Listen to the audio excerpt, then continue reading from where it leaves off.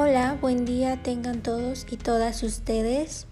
Hoy vamos a hablar sobre un tema que me han preguntado a la hora de egresar de las carreras de ciencias y en específico de ingeniería.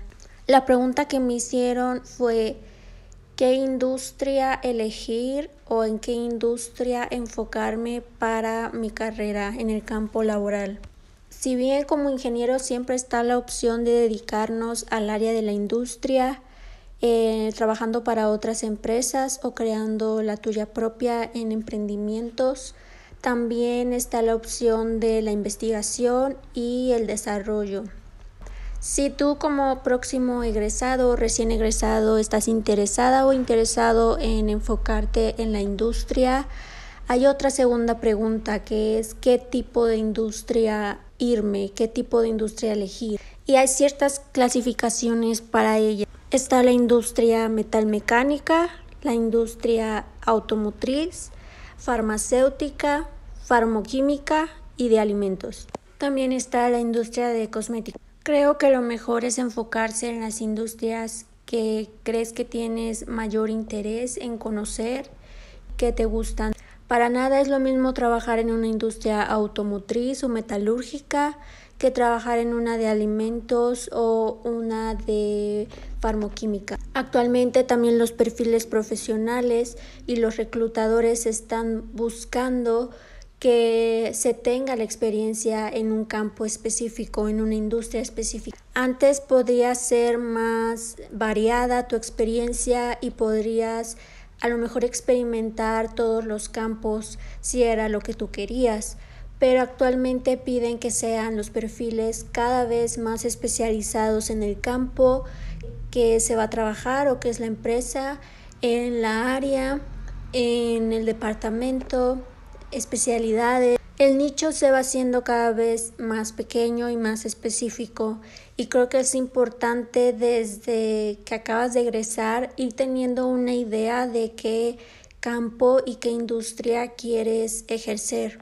En lo personal recomiendo investigar, aunque sea teoría, sobre cada uno de estos campos, cada una de estas industrias y si es posible que tengas personas a tu alrededor, ya sean profesores, amigos, e-, egresados de tu misma universidad o familiares que te puedan ir orientando en qué campo elegir basado en la experiencia de cada una de ellas o de cada uno de ellos. Creo que no hay mejor orientación que la de alguien que tenga experiencia en estas industrias y que te sepa orientar más o menos cuáles son tus gustos, tus intereses y las habilidades que se necesitan en esa industria.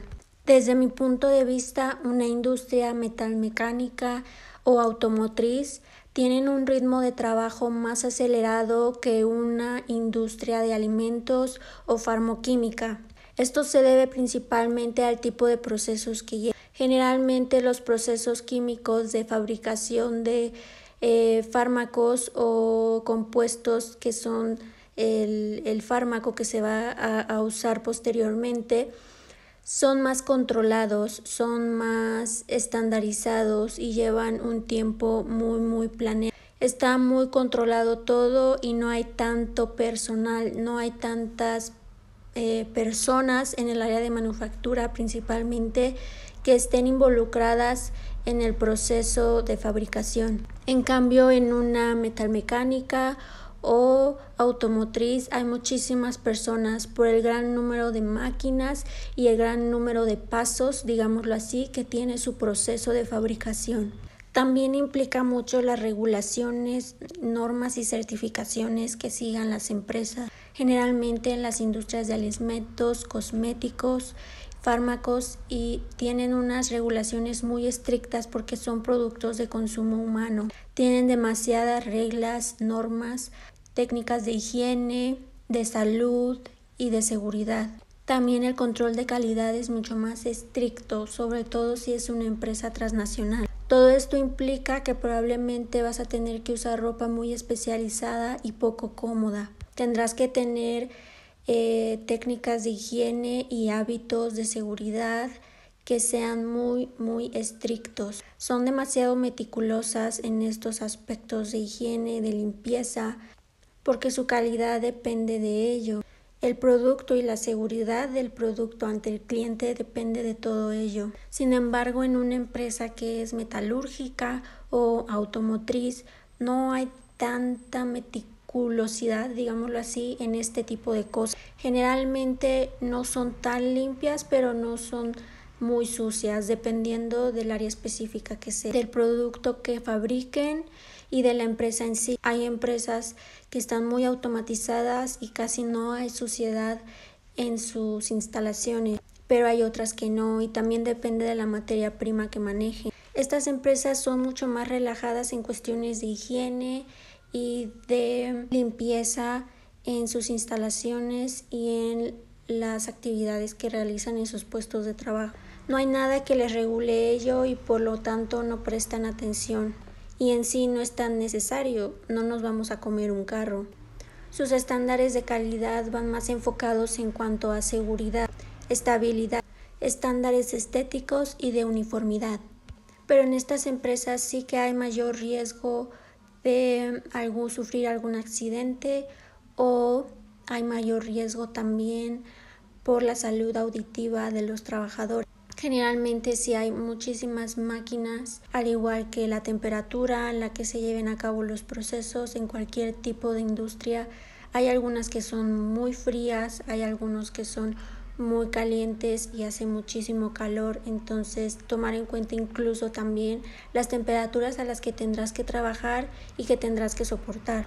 En las industrias farmoquímicas o farmacéuticas generalmente no hay tanto ruido, pero sí que hay olores a veces bastante incómodos que se tienen que soportar. Es importante el uso también obviamente de equipo de seguridad para estos casos como las mascarillas de eh, filtración de gases y de partículas, también tapones auditivos, etcétera, etcétera. Esas son normas generales que se deben de llevar a cabo, pero aún así, utilizando equipos de seguridad, se llegan a percibir el ruido, se llega a percibir el mal olor. No hay norma de seguridad para poder tolerar o no tolerar un clima más frío o más caliente. No hay norma para tolerar eh, botas de seguridad que a veces llegan a ser pesadas para algunas personas o para todos, de hecho.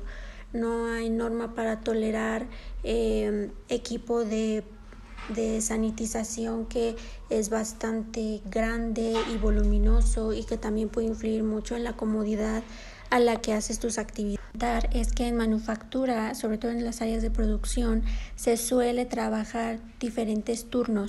Pueden ser tres, pueden ser. Así que no tendrás un horario fijo toda tu carrera laboral en ese. Irá cambiando y puede ser que seas de los que se acostumbra o no. Y eso es también importante de tomarlo en cuenta por las actividades personales, la vida personal, familiar, etc. Incluso también impacta en la salud no tener el mismo horario laboral porque influye en todas las demás actividades normales de todo ser humano como el sueño, los horarios de comida, los horarios de descanso, los horarios de trabajo, eh, los horarios de ocio.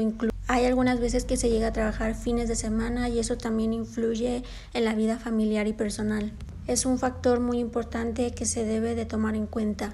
Todos estos son elementos que se deben de tomar en cuenta porque trabajar en manufactura es muy interesante, es muy padre, muy bonito desde mi punto de vista, pero también puede ser muy incómodo para algunas personas.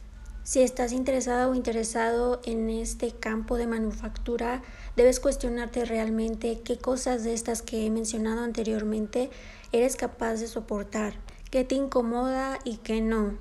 Yo he mencionado algunas, pero creo que hay muchísimas Creo que estas que mencioné son las más generales, pero cada persona es independiente. Por eso es importante investigar y conocerte bien a tu persona y a la profesión que estás ejerciendo para saber qué campo quieres pisar. Y si manufactura no es lo que tú quieres o no te apetece o no estás dispuesta o dispuesto a trabajar con este tipo de condiciones que he comentado que son hay otras áreas en las que puedes trabajar, hay otros campos que puedes ejercer y es importante tenerlo en cuenta también. La investigación, como mencioné, es una de ellas, la docencia también es una de ellas, pero si quieres trabajar en una empresa, también otras áreas diferentes a la manufactura que puedes laborar. Estas son administrativas, comerciales o requieren de otras diferentes especialidades. En el siguiente episodio hablaré sobre todos estos campos en los que puedes ejercer siendo ingeniero o ingeniera si no te gusta la manufactura, ni la educación, ni tampoco la investigación. Recuerda hacer un autoanálisis para averiguar cuál es el mejor perfil y qué es lo que realmente tú quieres hacer. Espero que esta información les sea útil y que les haya gustado este episodio. Yo me voy para preparar el siguiente y los escucho en sus comentarios y nos vemos el siguiente episodio.